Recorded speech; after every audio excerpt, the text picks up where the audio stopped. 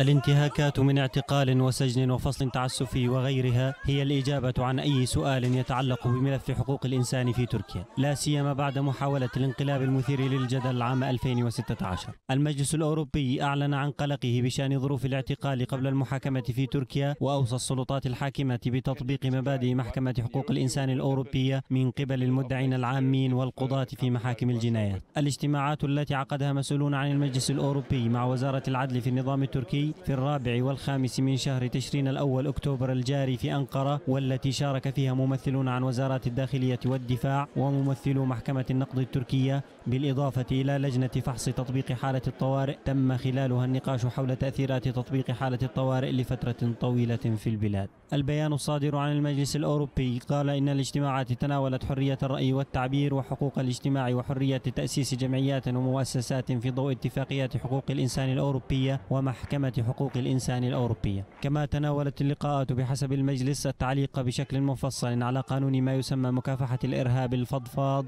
وتأخر الخطوات والإجراءات المتعلقة بالتحقيقات حيث أكد الوفد الأوروبي أولوية زائدة لمسألة المحاكم العادلة والفصل التعسفي من الوظائف. وكان النظام التركي قام في تموز يوليو الماضي باستبدال حالة الطوارئ التي ظلت سارية طوال مدة عامين فصل واعتقل خلالها عشرات الآلاف بقانون آخر يكرس الحالة بمسمى مختلف تحت بند مكافحة الإرهاب.